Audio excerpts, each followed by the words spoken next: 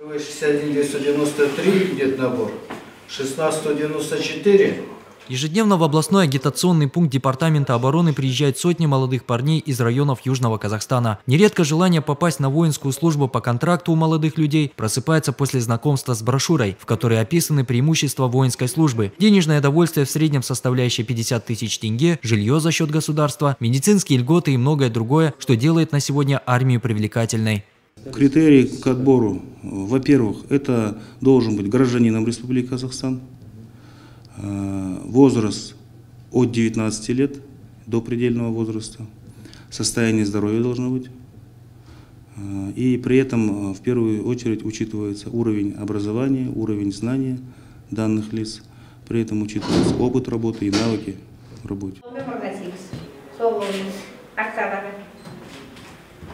Изъявившие желание служить по контракту уже проходят медосмотр и собеседование. Отбор идет очень жесткий. Комиссия внимательно изучает претендентов на моральную устойчивость, призывались ли ранее на воинскую службу и в какие войска, нет ли судимости, а также взгляды на религию. 20-летний Ярдавлет Турлыбеков оказался одним из тех, кому удалось пройти отбор. И уже скоро парень поедет служить по контракту в Алматы. Пополнит он ряды аэромобильных войск. Нет, пар. Хочу стать военным офицером. Это я понял, когда проходил службу в армии в 2011 году. Сегодня медицинскую комиссию прошел успешно. Впереди еще один этап отбора. После того, как меня направят на место службы, я буду сдавать физические нормативы. Думаю, у меня все получится.